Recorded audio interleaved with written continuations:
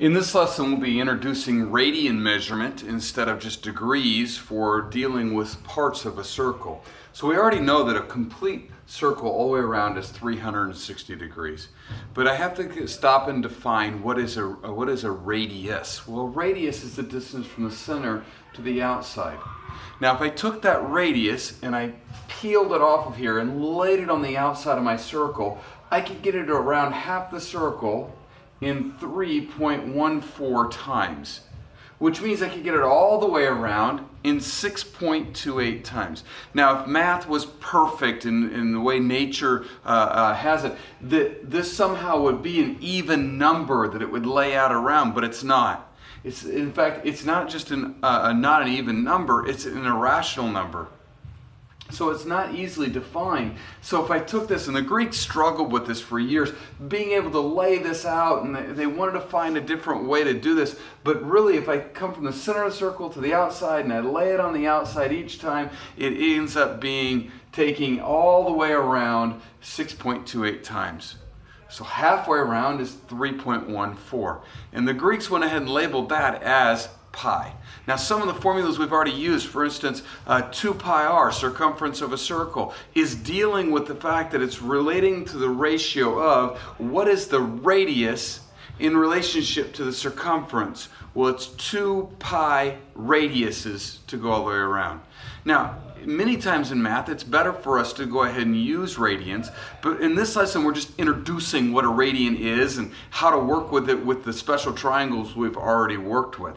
So when we look at this, uh, this uh, circle, I remember that 180 degrees is pi radians, or 360 degrees is 2 pi radians.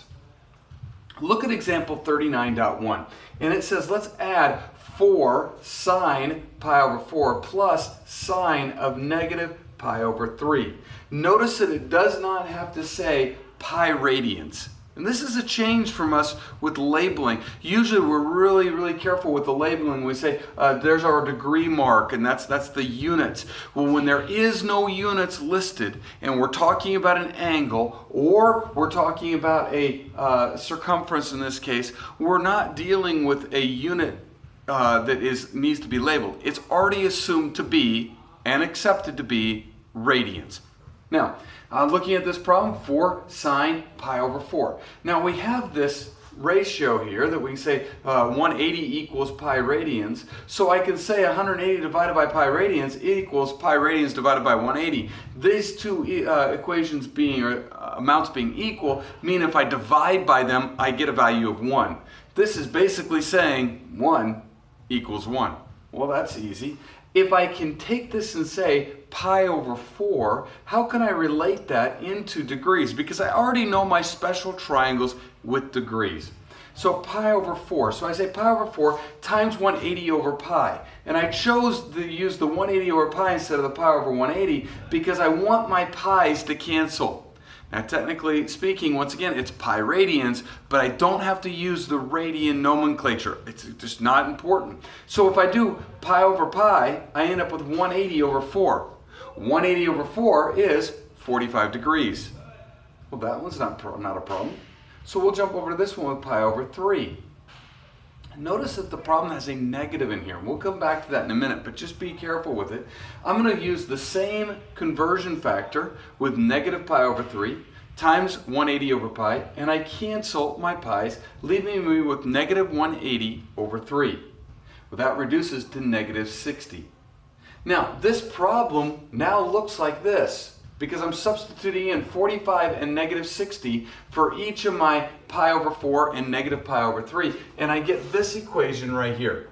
This one is one that we've already dealt with in this, in this uh, uh, course. So this shouldn't be a surprise to us. I went ahead and put our special triangles up here. We should have those memorized at, at this point. A 1, 1 root 2 and a, a 1, 2 root 3. Uh, if you need to review back to that lesson, that's the special triangles lesson. We deal with these quite a bit.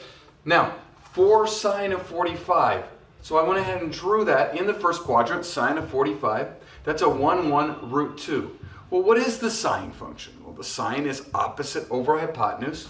So I say the opposite over the hypotenuse, 1 over root 2. Now this is where the, I, I, did a little differently in the book. The book didn't simplify this step if you're following along. What I, what I did is I multiplied the top and the bottom by the root of 2 over the root of 2 because I immediately knew I don't want to leave a root 2 in the denominator. And that gave me root 2 over 2 is equal to the sine of 45.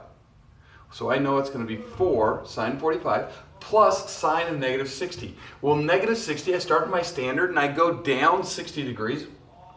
That puts me in the fourth quadrant. I'm looking at a 30, 60, 90 triangle, 60 degrees. And I'm going to use the sine. Once again, sine is opposite over hypotenuse.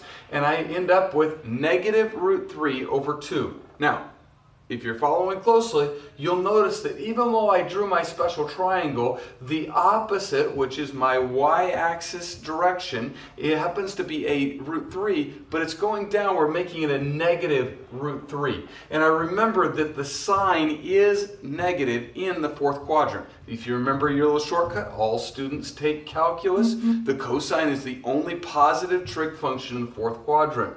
So I want to go ahead and put that in as negative root 3 over 2, opposite hypotenuse.